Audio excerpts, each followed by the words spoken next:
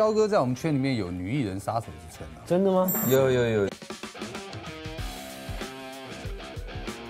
右下角那一格可以聊。没有，我当然有一些不愉快的分手经验。其实我印象当中有一个女人哦，真的是把我给吓到了。因为我刚刚讲过，我是属于比较理性的。当我觉得苗头不对的时候，我不会在乎谁对谁错，因为有的时候不一定是我们的错，有的时候是女孩子的错。可是没关系，OK，我愿意当个提出的那个罪人。可是呢，女孩子就有时候也很好面子啊，哭啊，然后怎么样，对不对啊？然后就开始呃翻脸。那我还是属于快刀斩乱麻型。好了，大概隔没两天呢，我家的信箱就收到一封信，把我痛骂一顿。就说我其实从来没有爱过你啊，然后就开始比较，有没有？那比起那个谁谁谁啊，你在我心中根本是什么东西啊？这这这这痛骂一点，足足写了两三页。最妙的是，他把那个最后署名的地方还撕掉，就他可能本来已经签名了啊，比如说小贤上，但他就对，但这只是举例啊。然后，然后他又他又把那个小贤那边撕掉，你就叫我此地无银三百两，那就是你嘛。那封信我到现在还留着，深深警惕，因为我觉得。我我是不是真的做的太 over 了？可是我后来觉得他现在过得很好啊。他谁？他谁不能讲？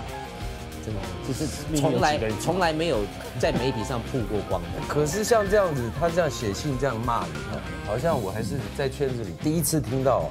真的哈？哎，就是还写一封信啊，还寄到，而且是骂，不是寄，他是请工作人员用摩托车载他到我家，信箱那个铁片打开塞进去。还好那时候没有狗仔队，不然那画面真的很丑，有没有？一个化大浓妆的女人骑摩托车，脸上还很臭，然后塞一个信这样子。化大浓妆，她穿的衣服时装古装，我不知道哎。你想干嘛？套话对？没有古装就一定是演时装。好贱的，不能演短剧啊！奇怪了，谁说古川就一定是演戏的？因为主持人会演短剧的。但总之就是那个时候让我印象很深刻，也深深检讨说我们到底是犯了什么错。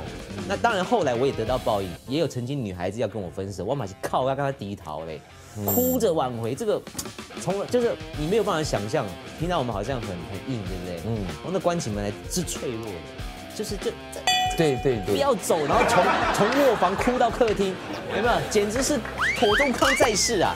没有，你是关着你是关着门在里面哭，你是这样，你是你是大庭广众下，大庭全国观众面前哭。天哪，上次在 Starbucks 里面那就是你啊！乱撒糖浆啊！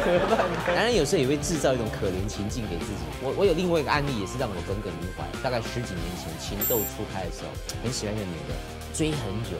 啊，花也送九十九朵玫瑰，那个时代十几年前啊，白痴抱着一束九十九玫瑰，千里迢迢到板桥去啊，然后他在学画画，就到画室去等他，然后呢，弄了弄了很久，然后家长也是很很很反对那种，也是公开干掉的那种。好了，终于有一刻，我终于收到他来信。字写的很漂亮啊，学美工的嘛，然后写写写，然后写说，那个时候考虑说我们是不是可以在一起？哇，终于，终于，对不对？所以我这个信箱有很多 love story 在里面，有瞎的，也有屌的。好，可是呢，哎，忽然间又不见了，你懂？就他忽然间让我从那个高峰又跌到地狱去。最妙的是这封信我也还留着，我每一次搬家这些东西我通通都留着，不是说我生气，而是我觉得太有趣的案例了。现在是你跟我告白哦，啊，结果你跟我 OK 啊，基本上想到，奇怪，怎么会这样？蔡灿德怎么会这样子？哦，是蔡灿德啊，没有乱讲。反正哎，但我这段一定要播，这段一定要播。蔡灿德，徐忠恒讲出来是你，他好像也打过他，对不对？没有，那个是放屁，下流，年纪差这么多。